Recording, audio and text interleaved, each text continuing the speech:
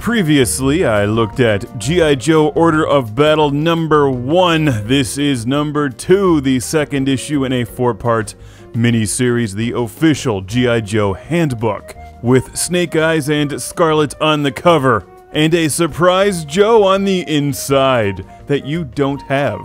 It's Rocky! Rocky Balboa is a member of G.I. Joe.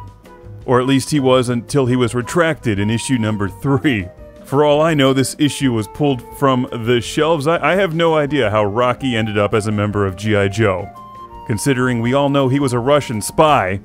What, haven't you seen the super secret Laserdisc special edition of Rocky 4? Well, at least he gets to live next to Scarlett.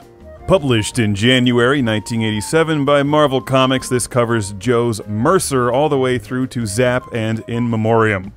Like the other issues in the series, we get some biographical information about each of the G.I. Joe heroes, as well as a nice picture. And as I turn the page, we've got two of my favorites here back to back Roadblock and Rock and Roll.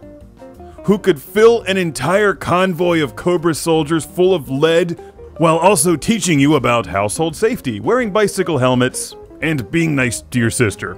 You know, kids, the M60 will take a Cobra soldier's head clean off. By the way, don't play with matches.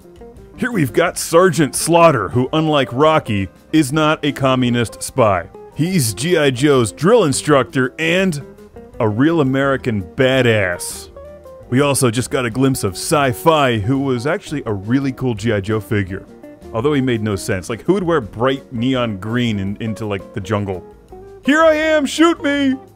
Here's Snake Eyes, pretty much everybody's favorite G.I. Joe, and he was twice as awesome in the comic books as he was in the cartoon. Snake Eyes is legit. In fact, I think we should stop teaching children about Santa Claus and instead replace that image with Snake Eyes, delivering presents while also machine gunning Cobra with an Uzi.